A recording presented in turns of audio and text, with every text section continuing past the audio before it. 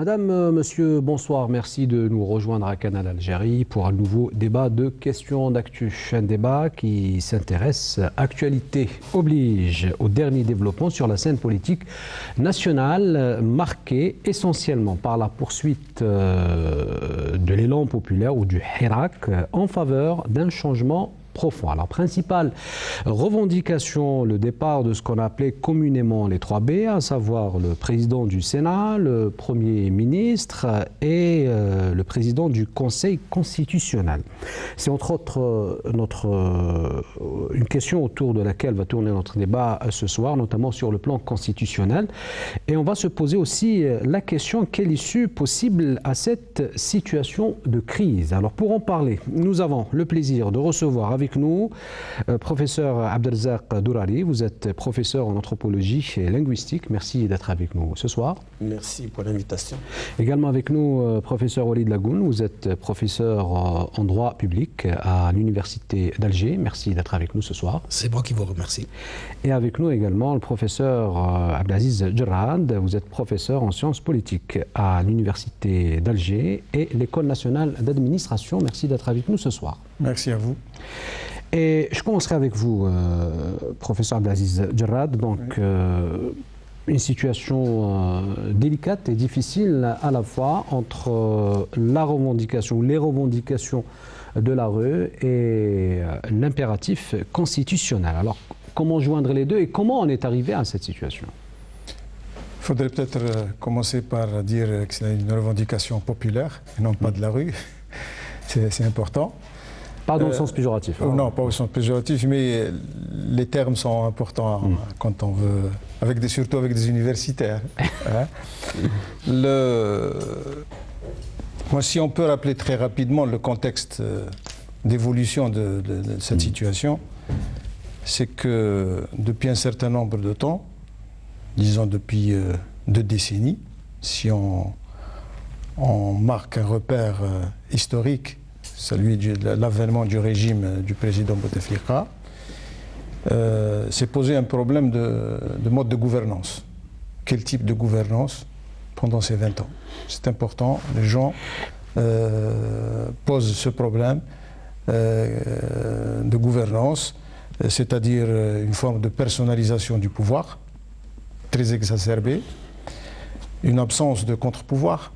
On a face à un pouvoir très autoritaire et très personnalisé autour de la personne même du président de, l'ex-président de la République, il n'y avait plus de contre-pouvoir, ni sur le plan syndical, des revendications syndicales, difficile de poser les problèmes des travailleurs. Euh, on a vu énormément de, de grèves au niveau, par exemple, du ministère de l'Éducation nationale. Les partis politiques euh, ont été tétanisés, pratiquement euh, marginalisés paralysé, donc ce qui fait qu'il n'y avait plus de vie politique. Le, deuxième élément, c'est une crise économique euh, majeure, puisque le système entier n'arrive plus à satisfaire les besoins de, la population. Je crois qu'en filigrane, la crise économique est présente et a amené petit à petit euh, les différentes catégories sociales à, à, réfléchir sur le, devenir de l'Algérie, d'autant plus que chez tous les analystes économiques, euh, d'ici euh, deux ans, nous aurons énormément de, problèmes mhm. et, sur le plan économique. Ensuite, euh, un système qui, autour de l'avènement de la maladie du président de la République, est devenu un système clanique au-delà de la personnalisation, c'est devenu un système clanique et on ne savait plus qui gérait euh, le pays depuis euh, surtout le, quatrième mandat. Cette situation a amené un, certain nombre de personnes à poser même de, la question de qui, qui, dirige le pays? Est-ce que c'est des forces constitutionnelles, nos institutions, ou bien est-ce que c'est des forces anticonstitutionnelles? Et le terme est sorti. Le hmm. terme anticonstitutionnel est apparu sur la scène euh, politique et les institutions qui émanaient de la Constitution étaient pratiquement paralysées. Vous voulez dire que le problème de l'inconstitutionnalité se posait euh, bien avant cette situation? Absolument, hmm. bien avant. On, le sentait dans la gestion politique. dans le domaine de la diplomatie, par exemple, le président était complètement absent. Le représentant de l'État algérien dans le monde était pratiquement absent. Sur le plan économique, qui prenait les décisions, puisqu'on a commencé à parler d'oligarques qui, qui géraient le pays, mais beaucoup plus pour leurs intérêts que pour l'intérêt euh, national, etc. Un certain nombre de, problèmes qui sont euh, posés. Enfin, euh, la représentativité. L'Assemblée nationale ne jouait plus son rôle, le Sénat était pratiquement obsolète, et tous ces éléments-là ont fait qu'il y a eu une réaction inattendue de la population le jour où on a proclamé euh, que le président allait se présenter. Vous dites bien inattendu, c'est-à-dire que personne ne s'attendait à une... Euh, euh, je vous dis honnêtement, en tant que politologue, en tant qu'universitaire, en tant que citoyen, je ne m'attendais pas à ce qu'il y ait ce mouvement extraordinaire. Hmm. Je crois que même, même sur le plan international, très peu de gens euh, penser que le, peuple algérien allait sortir de cette façon. Peut-être qu'il allait y avoir des, contestations, comme il y a eu euh, mm. le mouvement euh, Barakat, ou mm. bien le mouvement citoyen Ouattania, etc. Mm, Mais pas de cette façon-là. Aujourd'hui, nous sommes en face. Est-ce que c'est une révolution? Est-ce que c'est un mouvement qui pose aussi des problèmes de fond? La société algérienne. Forcément. Mais je crois, que nous sommes en face, de, nous, vivons un moment historique euh, du peuple algérien qui s'est soulevé pour contester non seulement le régime actuel, mais remettre en cause le système euh, en totalité. Alors, peut-être sur le plan anthropologique, euh, on posera la question à, au professeur Abdelzak Dourari, mais je passerai pour faire le tour de table euh, le parole à, professeur Walid Lagoun. Donc, on parlait de la situation dans laquelle nous sommes aujourd'hui, une situation de crise, notamment autour de l'application de différentes, différents articles de la Constitution pour trouver une issue. Oui, je crois que d'abord, euh, il faut noter, il faut prendre la mesure de mhm. l'extrême complexité de la question, tant sur le plan politique que sur le plan institutionnel. Donc, euh, aux raisons que vient d'invoquer euh, M. le professeur Gerrad, qui sont d'ordre politique, économique, il faut ajouter aussi des raisons de type institutionnel, liées au non-respect récurrent du texte constitutionnel. Et chaque fois qu'on a violé le texte constitutionnel, on s'est retrouvé devant des crises. Et devant des crises assez aiguës et difficiles à résoudre. Alors une constitution est en principe posée pour limiter le pouvoir et pour fixer un statut au pouvoir, mmh. afin justement d'éviter la personnalisation des pouvoirs et d'éviter des mesures totalitaires. Or, la pratique constitutionnelle en a fait le contraire. La Constitution est instrumentalisée, on en a fait un instrument d'exercice du pouvoir sans limite, sans responsabilité et sans contrôle, ce qui est encore plus grave. Donc on a fait jouer à la Constitution un autre rôle. Si bien qu'on s'est retrouvé face à des situations maintenant assez difficiles à résoudre. Puisque vous invoquez, puisque nous sommes à ce fameux article 102 qui a fait couler beaucoup d'encre, mhm. cet article 102, c'est un article qui existe un peu dans toutes les constitutions, mhm. où la constitution prévoit quelles sont les conditions de la vacance et quels sont les effets de la vacance? Donc c'est une disposition qui, c'est pas la disposition elle-même qui pose problème. Certains disent, c'est une disposition qu'on ne peut pas appliquer parce que son application est tardive ou qu'elle est dépassée. Bon, ça c'est un peu... Mais est-ce qu'une constitution, justement, elle est inscrite euh, dans le temps? Euh, euh, je, vais vous répondre. Il n'y a pas de, constitution, de texte juridique inscrit dans le temps. Il est applicable à partir du moment où il est en vigueur. exactement. Voilà. Alors, pour cet article 102, alors on dit qu'il est dépassé, il ne peut pas être appliqué, etc. Bon, ce sont des arguments qui ne sont pas de type juridique. Le problème, c'est que l'article 102 ne peut pas être mis en œuvre. Ce n'est pas qu'il soit dépassé. Il ne peut pas. Les conditions de son mise en œuvre, à mon sens, ne sont plus réunies. Pourquoi? Pour à la fois des raisons juridiques et des raisons politiques. Lesquelles? Les raisons juridiques. Il y a une disposition de la Constitution qu'on n'a pas respectée. On en parle peu. C'est l'article 118 de la Constitution.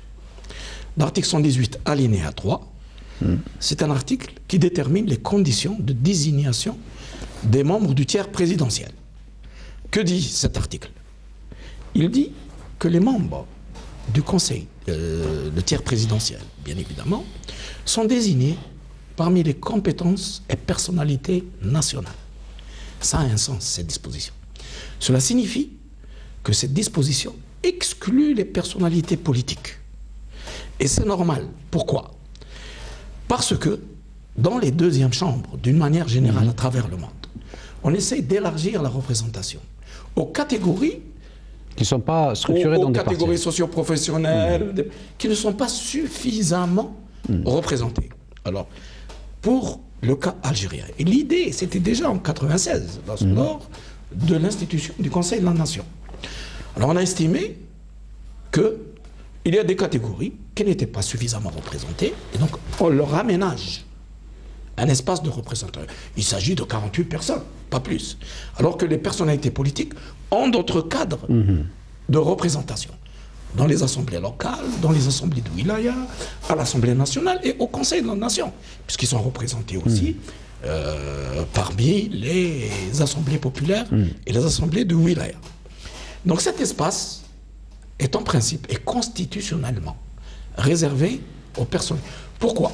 Un, pour combler un déficit de représentation. Deux, pour qu'ils puissent apporter et améliorer le travail parlementaire. Mais quel est le lien avec l'article 102 Je vais vous le dire. Parce qu'il faut expliquer d'abord cela. La violation de la Constitution, c'est qu'on n'est pas désigné essentiellement des personnalités nationales de compétence, mais on a désigné des personnalités politiques. Et on se retrouve aujourd'hui dans une situation, par ce fait, presque d'incompatibilité, puisqu'une personnalité politique qui est membre, qui est euh, membre dirigeant d'un parti politique, se trouve à la tête du Conseil de la Nation. Il ne s'agit pas de la personne en tant que personne, parlons du statut de la personne. Et qui se trouve en situation d'incompatibilité dans les situations actuelles. Ça, c'est la raison juridique. C'est mon interprétation de l'article 118. J'estime qu'il n'a pas été respecté. Si on avait eu Oui, une personnalité nationale, je dis si, on ne fait pas le monde avec 10. Oui, Mais le problème de, de- si vous parlez du, du Pardon, problème- je termine juste Ouais. cela. Donc voici la raison juridique qui pose problème, un problème d'incompatibilité. Mais par rapport à qui? Est-ce que c'est par rapport au président du Sénat ou tous les membres du Non, tiers non, non. présidentiel? Là, je parle du président du Sénat, puisque c'est On a compris, mais, justement. les autres- mais il n'y a pas que le président du Sénat qui est une personnalité politique. Il y en a d'autres, il y a d'anciens ministres, etc. Mais il se trouve que c'est le président Hmm. du Sénat, du Conseil de la Nation, dont il s'agit, puisque c'est lui qui va assurer l'intérim. Et donc, vous- si Déjà on- par son statut, il n'est pas- compatible. Bien sûr, parce qu'il est membre dirigeant d'un parti politique. Hmm. On n'aurait pas dû du tout désigner des personnalités politiques. Si on avait désigné des compétences, peut-être, je dis bien peut-être, hein, je n'anticipe pas, M. Jared disait tout à l'heure que personne ne s'attendait à cette réaction. Euh, mais j'imagine, j'essaie de poser le problème. Donc voilà déjà une difficulté. La deuxième difficulté, elle est maintenant d'ordre, c'est l'expression populaire, d'ordre politique, d'expression populaire. Elle s'est exprimée, elle refuse que ce soit euh, monsieur, euh, l'actuel président act- de- du Conseil de la Nation qui assure l'intérim. Voilà donc la situation. On arrive presque, comme disent les linguistes, à une aporie, c'est-à-dire à une solution, à une, euh, un problème dont on ne peut plus apporter des solutions logiques. Vous voyez, alors là j'ai été très bref, hein. on peut citer d'autres violations de la Constitution, c'est pour dire qu'une Constitution est faite pour être respectée. Si on commence chaque fois à la violer, eh bien, on se retrouve dans des hmm. impasses qui sont extrêmement difficiles à résoudre. Hmm. Alors je vous poserai, euh, on reviendra tout à l'heure peut-être un peu plus en détail sur cette situation euh, constitutionnelle euh, un peu délicate, notamment dans son volet politique avec le professeur Abaziz Jarrad. Mais sur le plan anthropologique, on n'a pas souvent posé la question aux anthropologues, le professeur Abdelzak Dorari, sur la nature de cet élan populaire. On dit souvent que, pas quel sociologue disait un jour que l'anthropologie algérienne a été façonnée dans la confrontation. Ben, je crois que vous avez déjà la réponse du politologue et du juriste, du constitutionnaliste. Et bon, euh, moi, le, ma posture intellectuelle euh, ici n'est pas vraiment celle de l'anthropologue. Je suis socio-sémioticien. C'est pas très mm. loin. Mm. C'est pas très loin, mais quand même, c'est assez différent. La, la socio-sémiotique lit la société comme un mm. texte. Et c'est pour cette raison-là que ce que nous avons toujours oublié dans nos réflexions sur euh, notre société, c'est pas seulement que la règle de droit ne s'applique pas, ne gère pas euh, la société, elle est plutôt ignorée. Alors si euh, on reprend un peu très rapidement un survol d'une très grande rapidité depuis les années 70 jusqu'à 2002, par exemple, on va trouver que la société est dominée par deux discours. Il y a un premier discours. Euh, quand je dis discours, euh, des gens diraient aussi euh, mais moi, je parle, de, je parle de discours parce que c'est mon métier de parler de discours. Le premier discours, c'est un discours qui se réclame du nationalisme. Et bien évidemment, il a des actants qui portent ce discours. c'est plus particulièrement le FLN. Il a hmm. porté ce discours et dans ce discours, il préfigure une société, il dessine une société où il y a des gens qui sont nationalistes, donc ce sont les gens qui sont avec les détenteurs du pouvoir, et les autres sont antinationalistes. Liés de la main d'étranger, mm. euh, l'impérialisme, euh, etc. Il n'y a pas le citoyen. Le citoyen n'existe pas, et dans la Constitution, on parle de citoyen. C'est un actant qui est fondamental dans la société il est totalement exclu du discours nationaliste. Et ce discours nationaliste a été euh, hégémonique et a été, a été, une première fois mis en crise en, 1988 par l'émergence justement de ce citoyen qui était complètement euh, marginalisé. Et pour euh, deux ou trois années, il y, a eu, il y a eu une phase de démocratie où les gens ont repris la parole, où le citoyen est redevenu euh, acteur de sa destinée pour une très courte période. Ensuite, il y a l'émergence d'un autre discours. C'est un discours à caractère religieux, conservateur, qui a voulu concurrencer le discours dominant euh, du, euh, du nationalisme. Là aussi, la société est dichotomisée. Donc on a créé en fait deux, deux groupes. ces deux groupes sont les croyants et les incroyants. Et donc là aussi, le citoyen n'existe pas. Il n'est pas là. Et bien évidemment, la Constitution encore davantage parce que euh, le discours euh, religieux, euh, conservateur, ne reconnaît pas les règles de droit, notamment le droit positif. Donc il fallait creuser dans des règles de droit très anciennes, etc., et qui n'étaient plus, qui plus possible d'effectuer après euh, la confrontation violente des deux, euh, des deux discours, on est arrivé à une espèce de récupération euh, par les tenants du discours nationaliste vers les années 2000 de leur posture donc de pouvoir, d'autorité et, qui était une autorité despotique, tyrannique, etc. Et ensuite on est passé à une autre dichotomie dans ce discours nationaliste. Il y a les gens qui étaient avec nous, c'est-à-dire avec les gens qui, euh, qui, gouvernent, et les gens qui étaient contre nous. Donc c'est une autre dichotomie où les citoyens n'ont pas sa place, ou la Constitution encore moins. Donc il n'y a pas une question de référence à euh, la Constitution. La Constitution, en principe, euh, même linguistiquement, c'est ce par quoi on se constitue en tant que société et ce par quoi on fonctionne. Donc elle régule les relations entre euh, les différents groupes de euh, la société et avec le, politique. Professeur Dolary, en parlant de discours, quelle est la lecture du peuple, ou de cet élan populaire, du texte de la Constitution? Que représente la Constitution pour le peuple euh, sur le plan... Euh, Je ne sais pas si euh, dans nos traditions, la notion de constitution est une place très importante dans nos... Mais l'élan populaire revendique l'application... L'élan populaire vous parle de l'article 07, l'article 08. C'est-à-dire ça parle de constitution quand même. Oui, mais euh, dans ce mouvement citoyen, euh, il y a des gens qui sont très instruits, d'autres beaucoup moins, euh, etc. Ce qui est remarqué, mhm. par contre, c'est que le citoyen n'a pas participé à la vie politique de son État quasiment depuis mhm. l'indépendance. Et c'est ça qui est primordial. Donc, est-ce que ce mouvement qui a émergé était attendu? Je crois que oui. Logiquement, oui. Mhm. logiquement, je dis. Mais concrètement, on ne pouvait pas le placer à telle ou telle, euh, ou telle euh, période, à partir du moment où il était totalement exclu de la scène, alors qu'il est chez lui, au Fibledo. Il est chez lui, mhm. il est totalement exclu, il ne participe à rien. On ne lui demande même pas euh, est-ce qu'il a mal ou, ou est-ce qu'il est très content? Eh bien, rien, on décide à sa place. Il y en a même un chef de parti politique qui avait dit oui, euh, maintenant le peuple algérien est très heureux euh, que le président Bouteflika se euh, représente à un cinquième mandat. Donc on parle à sa place, on fait à sa place et on dispose des richesses du pays loin du citoyen. Ça, ça, ne peut pas vous créer une, une situation d'un État moderne qui est réglé, dont tous les acteurs sont réglés euh, par euh, la hmm. Constitution. La Constitution n'a ah. pas eu de rôle fondamental dans notre société.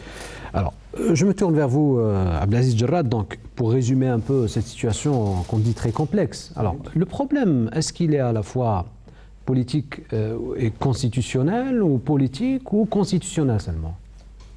Comme on vient de, de débattre avec les collègues, le problème, il est multidimensionnel. Il y a tous les aspects, toute la problématique de l'évolution de la société algérienne qui brusquement s'est installée pendant euh, maintenant euh, presque... Non, je parle précisément par rapport à l'application de l'article mais ça c'est le contexte, mmh. c'est très important, contexte. le contexte. Mmh.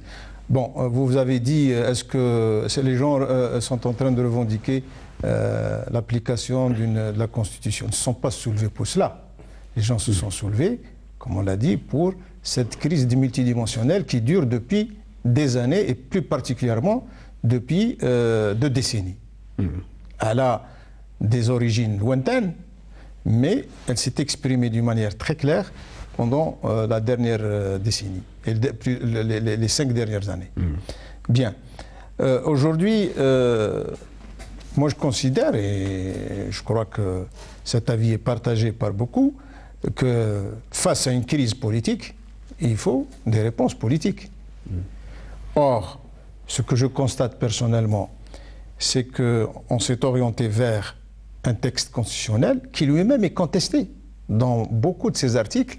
Et le professeur Lagoun a relevé déjà une contradiction fondamentale. À travers l'article 118. À travers, et il y en a d'autres. Il y en a d'autres. J'ai devant moi les articles. C'est quelque chose d'extraordinaire. Donc c'est un texte qui, je dirais qu'il est, pour ne pas être méchant avec ce qu'il dit, était bâclé. Bien. Et, il était euh, taillé sur mesure. Alors, euh, aujourd'hui, la crise est politique. Elle est fondamentalement politique.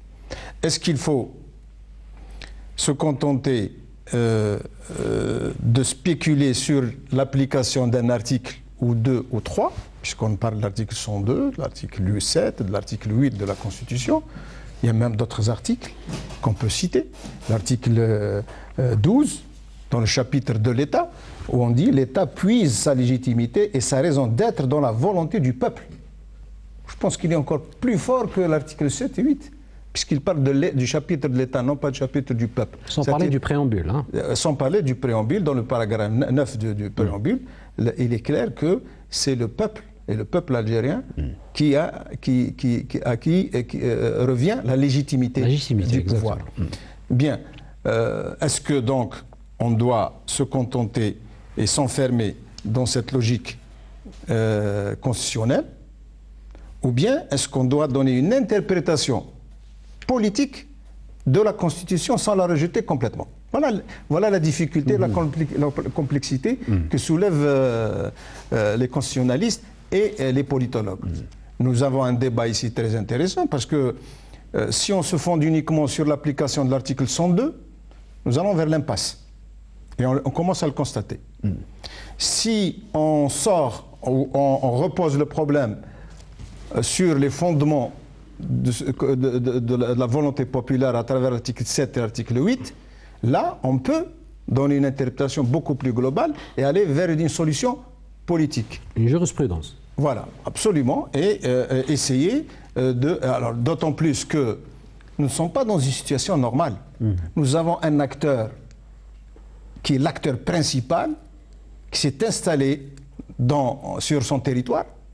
Le peuple s'est installé sur son territoire qui s'appelle l'Algérie et qui impose. Alors, qui doit se porter garant justement sur euh, le respect de cette démarche?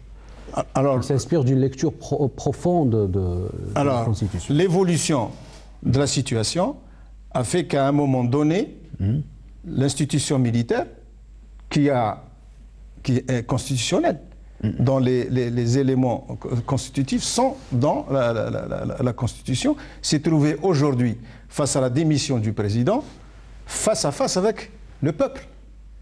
Et c'est à elle, aujourd'hui, c'est elle qui est interpellée pour dire, pour, trouver une solution, parce que les institutions qui sont là, que ce soit l'Assemblée nationale, que ce soit le Sénat, sont inaptes, sont incapables de résoudre ce problème, puisque sont, euh, les, dirigeants ou les responsables qui dirigent ces institutions contestés, sont contestés, hmm. notamment le président du Sénat et le, chef du gouvernement et le gouvernement lui-même. Voilà la problématique, comment elle, elle se passe. Aujourd'hui, l'institution militaire, quelle, est la position de l'institution militaire par rapport à cela? Demain, les deux assemblées vont se réunir. Quel, sera le résultat? Le peuple refuse, et vous l'avez dit dans votre introduction, mm. refuse les, un certain, les, symboles mm. du régime.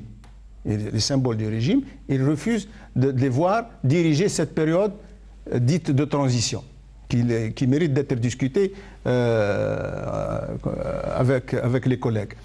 Euh, alors, que faire? C'est la question. Elle est fondamentale. Que faire, euh, professeur Walid Lagoud, sur le plan constitutionnel? Alors, c'est l'occasion aussi pour moi de lever quelques malentendus. Ce n'est pas la Constitution qui pose problème, ce sont des pratiques. Sur la Constitution. J'avais évoqué tout à mmh, l'heure, c'est-à-dire les violations constante. La constitution actuelle n'est pas née en 2016. C'est un processus qui est né à partir de 89. Formellement, nous sommes toujours formellement dans la Constitution de 89, révisée en 96, révisée en 2003, révisée en 2016. Simplement. 2009 aussi. 2009, 2008, 2008, enfin, 2008, surtout, 2008, 2008, et pour aboutir à 2009.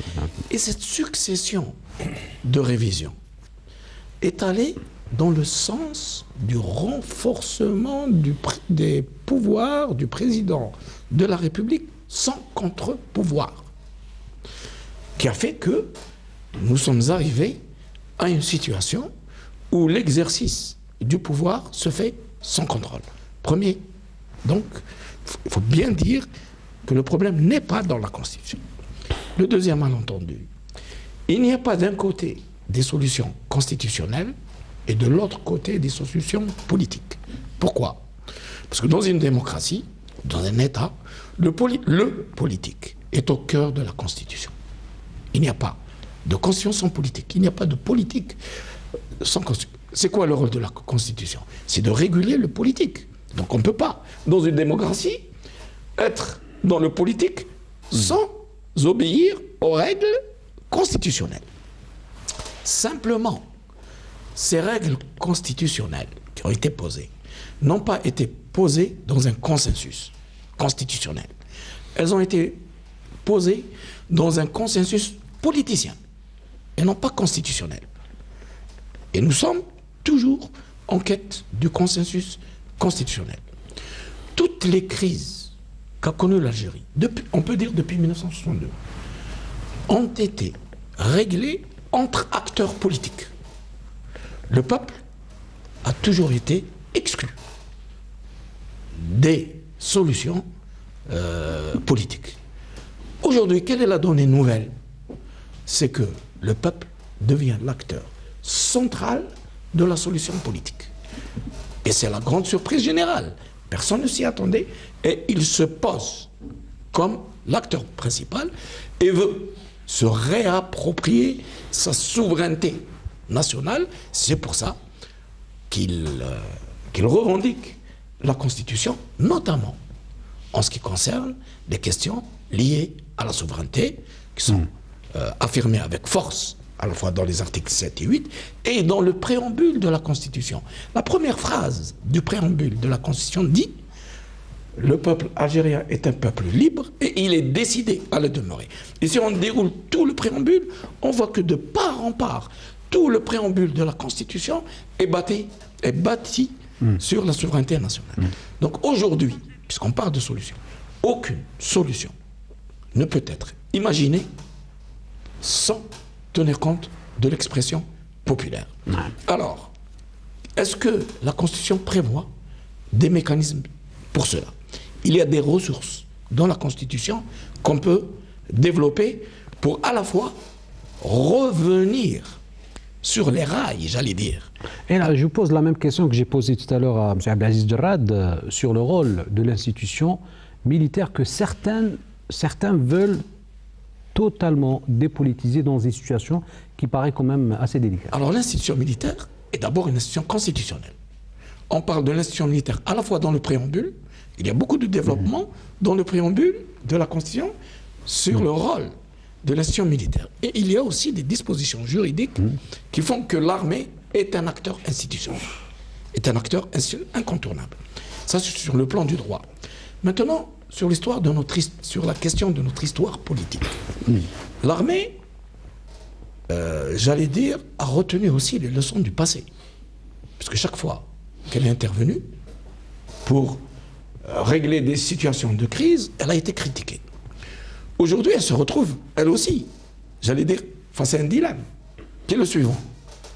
S'il intervient, on dira, le coup on criera au coup d'État, on dira l'armée est intervenue, il ne faut pas qu'elle mm. intervienne. Si elle n'intervient pas, on lui reprochera de ne pas intervenir et d'avoir fui à la limite ses responsabilités. Elle se trouve effectivement hmm. devant une difficulté. Mais l'armée s'est déjà prononcée. Elle a dit, je suis euh, à, côté des revendications populaires. Et je note que pour la première fois, je ne sais pas, peut-être M. Djerad me corrigera, hein, si, c'est la première fois dans l'histoire de l'Algérie que l'armée se présente publiquement et dit voilà.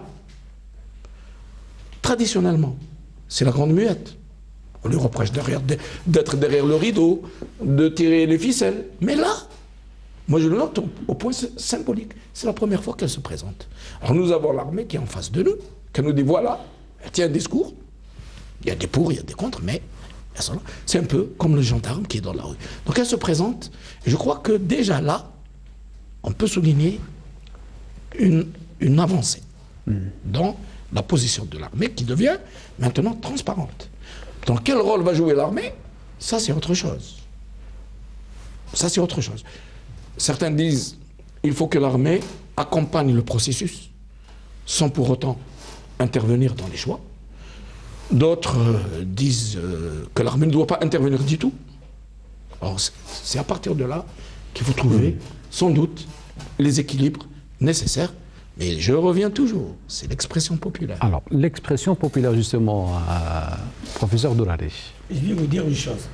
À partir de ces développements, mais aussi euh, de mon, point de, de, départ tout à l'heure sur les discours, on en est arrivé à ce que les gouvernants ne respectent pas la Constitution pour la simple et bonne raison que dans leur perception de l'État, il y a la personne du gouvernant qui, lui, est dans une posture néo-patrimoniale. C'est-à-dire que lui, il possède tous les biens de la nation et il possède chaque individu de la nation. Tout, le monde est à lui. C'est un propriétaire de tout. Donc lui, euh, quand il fait une constitution, c'est uniquement pour la forme. Et quand il l'a fait euh, euh, des fois, il, n'a de soucis que pour lui, que, pour qu'on ne puisse pas venir à le secouer sur son, sur son trône. C'est ce qui fait que on est très vite, notamment dans les dernières 20 années, euh, quasiment, euh, pour le, dire ainsi, le régime politique ou le gouvernant ou l'actant principal qui gouverne euh, la, société, il s'est complètement libéré de, tout, de toute règle de droit. Il, faisait absolument avec les biens du peuple, avec les biens de la nation et avec les gens, il faisait ce qu'il voulait. Il met X en, prison, l'autre, il le gratifie de je ne sais pas combien de milliards etc. Il faisait euh, vraiment euh, à sa guise. Il était évident à ce moment-là que euh, ce qu'on appelle aujourd'hui le, mouvement citoyen en vienne à des mécanismes qui sont appelés en philosophie politique, et c'est en même temps la philosophie du droit, on appelle les mécanismes de défiance ou de la contre-démocratie. Quand je dis contre-démocratie, ce n'est hmm. pas l'anti-démocratie. C'est-à-dire c'est la c'est la démocratie qui contrôle l'acte démocratique. Donc c'est un peu la police des polices. Mm. Hein, euh, voilà, voilà un peu. On est, oh, donc on est dans un mécanisme de défiance. On est dans une situation de contre-démocratie où le peuple dit oh là, où vous allez comme ça, il faut arrêter parce que là, c'est là, là, c'en est trop. Mais, mais là, on n'arrive pas à, déterminer euh, par qui elle est exercée exactement. Hein. Ben, il y a un mouvement citoyen, quand vous avez 24 millions, euh, il faudra attendre longtemps avant de savoir, mais le, mouvement est là. Non, je parle pas du mouvement et la revendication est là. Je ne parle pas du mouvement populaire. Aujourd'hui, on a. C'est-à-dire qu'un un, pouvoir qu'on n'arrive pas à, identifier depuis euh, la démission du président Bouteflika. Non, le pouvoir, on l'identifie. Le pouvoir, de toute façon, du point de vue de la revendication. Je ne parle pas sur le plan institutionnel. Hein. Il ne peut exister que sur le exactement. Il ne peut pas exister en dehors des institutions. Maintenant, on, euh, peut supposer, euh, comme l'ont fait beaucoup de, politiciens, de chefs de partis politiques, la boîte noire, machin. Bon, moi, je, préfère m'en tenir à ce qui est. On va parler de deep state. Euh, deep state. Oui, on peut parler de deep state. Pourquoi pas Ça ne m'intéresse pas particulièrement. Hmm. Ce qui m'intéresse, c'est qu'aujourd'hui, nous avons des actants qui sont sur le terrain et ces actants expriment leur vouloir être et leur vouloir faire. Et leur volonté d'exister ensemble. L'algérianité maintenant, elle est là, elle est devant nous, les gens euh, euh, la cible. Donc quand on est dans le mécanisme de défiance et qu'on est en pleine démocratie, alors où euh, vous avez un pouvoir qui répond, ou vous avez un répond, pas de répondant du tout. Aujourd'hui, l'armée a répondu pour marcher un peu dans, le, dans la discussion. L'armée a répondu parce que personne ne pouvait saisir euh, le Conseil euh, constitutionnel et celui-ci ne voulait pas s'autosaisir alors que la, situation euh, risquait quand même de, de, s'aggraver. Donc l'acte qui a été fait, initiateur, si vous voulez, du processus de, de, la mise en branle de l'article 102 sur sa partie d'émission du président, il est, très positif, le fait que l'armée euh, ait pensé à ça. Mais l'armée euh, s'est vite euh, ressaisie en disant, bon, si j'applique l'article 102 dans sa totalité, dans tout son déroulé, on risque de reconduire la même situation de blocage mhm. qu'on était en train de régler. Et dans son discours, elle a ajouté l'article 7 et l'article 8. L'article 8 il permet d'opérationnaliser, donc de, mettre en place un modus operandi pour revenir à la légitimité, parce que là, on est en dehors. Et je dirais, euh, donc, de, dans mon analyse, l'actant euh, armé et l'actant mouvement citoyen ne sont pas euh, face à face, ils sont pour l'instant côte à côte, puisque, en fait, on a dit que, oui, d'accord, si on applique l'article 8, on est euh, dans la volonté euh, populaire, on n'est pas très loin de la Constitution, on, est, euh, comme ils disent en arabe, donc on reste très proche de l'esprit de la Constitution, sans trop s'en éloigner, et l'armée ne peut pas, en tant qu'institution d'un État, elle ne peut pas ne pas invoquer la Constitution notamment dans des situations pareilles, sinon il serait euh, bien sûr accusé euh, de coup d'État, euh, etc. Donc, mais l'article 8, comment l'opérationnaliser? Comment passer comment trouver un modus operandi pour que le peuple, parce qu'il est dit que le peuple exerce sa souveraineté à travers les institutions qu'il se donne. Donc, ce n'est pas les institutions qu'il s'est données ah, donc, on vient de faire la démonstration que les institutions passées n'émanaient pas de la volonté populaire, euh, qu'elles avaient été faites justement pour contrer la volonté populaire. Donc maintenant, des institutions qu'il se donnera, comment elles seront? Ah, justement, euh, ça, vous me tendez une, perche pour parler de, euh, de ce modus operandi, cette solution qu'on admettra peut-être politique. Comment vous l'envisagez, docteur Ablez, Ablez écoutez, quand je dis que la solution doit être politique, ça ne veut pas dire que je remets en cause la Constitution. Mais je voudrais qu'il y ait une lecture lucide de la Constitution, mais surtout une lecture lucide du contexte dans lequel on est en train d'agir. Le contexte n'est pas un contexte normal. Nous sommes face à une crise majeure, multidimensionnelle, comme je l'ai dit, et donc il faut absolument essayer de donner une interprétation à, aux, deux articles et à d'autres articles, l'article 7 et 8, et à d'autres articles, comme le disait le professeur Brouri. Donc la, la, solution, il y a plusieurs types de solutions. L'essentiel, c'est de comprendre que l'acteur majeur, l'acteur principal, refuse un état de fait, refuse d'être embrigadé dans un, dans, des, dans un article l'article 120, pour lui dire, écoutez, il n'y a pas d'autre solution. Là, la crise va encore devenir de plus en plus problématique et peut-être déboucher vers l'inconnu. C'est ce, que, ce que personne ne souhaite. Donc, euh, si j'ai bien compris euh, vos propos, euh, il faut que le Premier ministre, le président du Conseil constitutionnel, le président du Sénat démissionnent. Absolument. Absolument. La formule, on peut la trouver, puisque la légitimité populaire s'est exprimé dans la rue. C'est un référendum populaire. Et personne ne peut contester que c'est toute l'Algérie, c'est tout le peuple algérien, sur son territoire qui s'appelle l'Algérie, qui s'est exprimé pour refuser cette situation. La première situation, c'est de dire au président de la République, ça suffit, partez. C'est de dire aux forces anticonstitutionnelles, nous nous, nous nous sommes rendus compte que vous avez profité de la maladie du chef de l'État pour euh, euh, vous enrichir et pour détourner la, souveraineté populaire. Maintenant, continuez.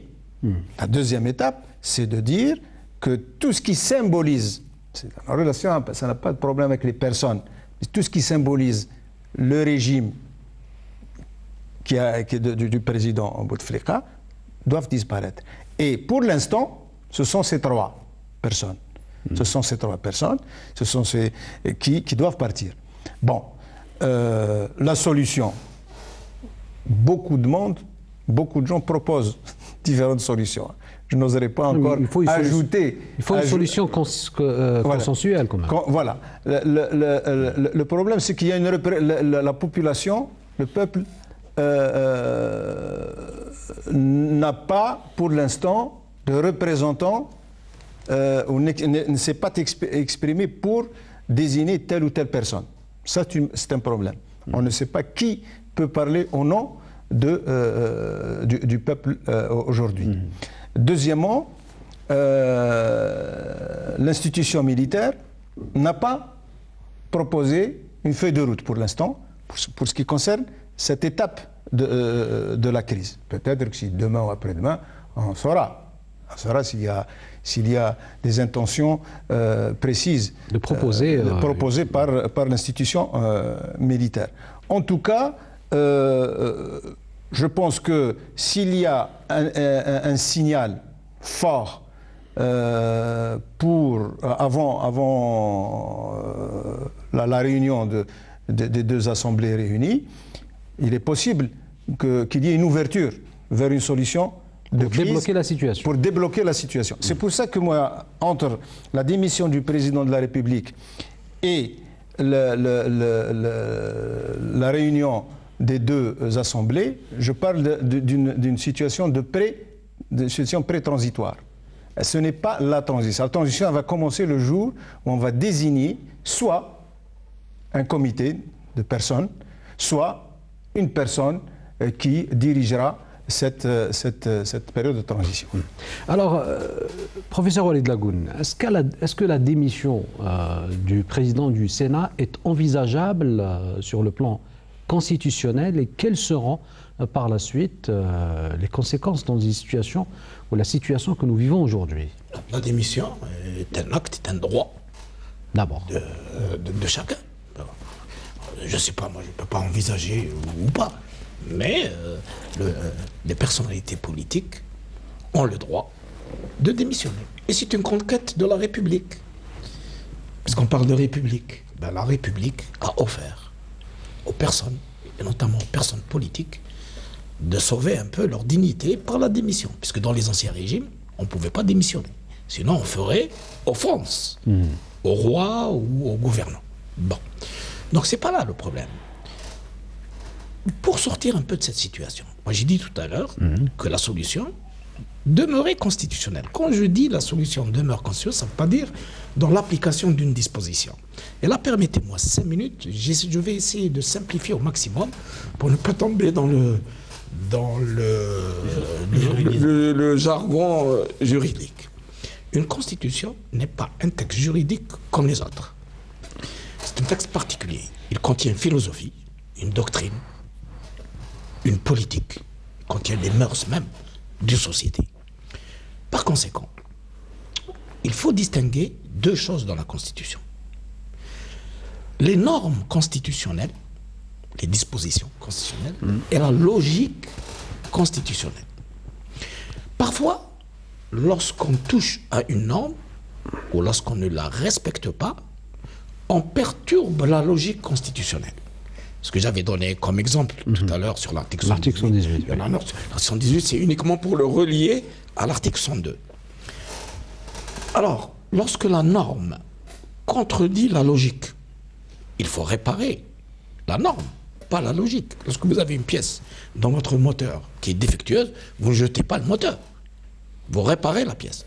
Alors, il s'agit aujourd'hui de réparer tout cela, c'est-à-dire de revenir à la logique constitutionnelle, pas à la norme constitutionnelle. Et la logique constitutionnelle, comme je l'ai dit, repose sur l'expression populaire. Aujourd'hui, nous avons une expression populaire. Alors que faire? Il n'y a pas un mode d'emploi, mais il y a des issues possibles. Il y a des issues possibles, il y a des pistes possibles qu'on peut mettre en œuvre tout en restant dans la logique constitutionnelle, c'est-à-dire en restant dans l'esprit et les principes de la Constitution. Par exemple, effectivement, supposons, parce que là, on est en face maintenant d'une alternative. Soit demain, le Parlement prend acte de la démission du président, d'ailleurs, il ne peut faire que ça, que prendre acte. S'il prend acte et qu'il n'y a pas de démission, eh bien, c'est le président du Conseil de la Nation qui va assurer l'intérim. C'est clair. C'est l'article 102, alinéa 4. Point. Maintenant, s'il démissionne, C'est le président du Conseil constitutionnel. pas encore. Oui. Il y a deux scénarios. Soit on élit un membre du Conseil de la Nation pour remplacer l'actuel, soit on n'élit pas, et effectivement, ce sera le président du Conseil constitutionnel qui prend. Donc c'est une simple hypothèse. Qui, qui, on qui essaie- est aussi rejeté par l'élan et populaire. qui lui aussi semble faire l'objet de Non, sûr. Ils sont, de contestation. Vous voyez la difficulté de l'opération. Alors que faire? Bon, Les démissions sont des actes volontaires. Alors si, à supposer que tout ce monde va démissionner. On n'est pas encore sorti, j'allais dire, de, de l'auberge, parce qu'il faut imaginer Il faut vraiment imaginer, parce que la Constitution ne prévoit pas ce genre de situation. Mm. La Constitution repose sur une présomption, je dirais irréfragable pour utiliser des termes juridiques, qu'elle sera respectée. Elle ne repose pas sur euh, mm. la présomption qu'elle ne sera pas respectée. Et donc, elle n'imagine pas ce type de situation. Il faut donc les imaginer. Il ne faut pas. Il faut toujours avoir la modestie. Donc les imaginer, c'est Alors comment on va les imaginer? Aller vers des solutions politiques. Non, constitutionnelles. Pourquoi hmm. politique? Quand on dit constitutionnel, nous sommes dans le politique. Bien sûr. Parce qu'il n'y a pas de politique sans le constitutionnel. faire de la jurisprudence. Sinon, c'est la dictature. Hmm. C'est l'interprétation, l'interprétation politique de la Constitution. Mais qui doit l'interpréter justement sur le plan institutionnel? Je, je termine mon raisonnement. Et donc, par le passé, on a eu des crises on a imaginé des institutions.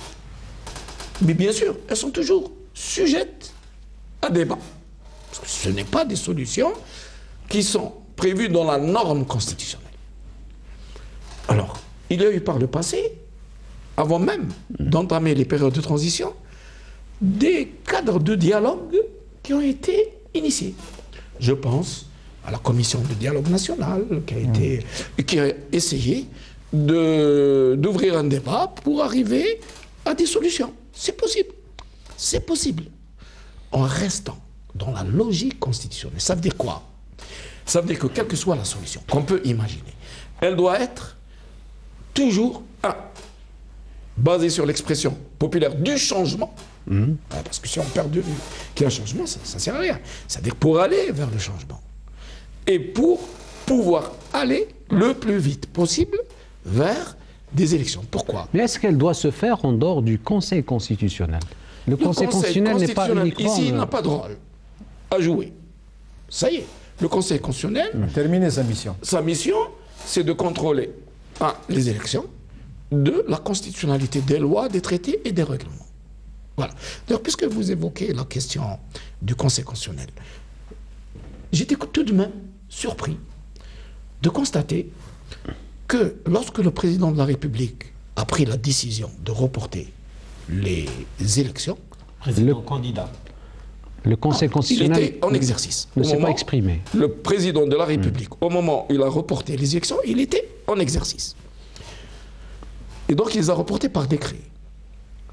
Aucune instance de saisine n'a exercé le droit de saisine, y compris l'opposition.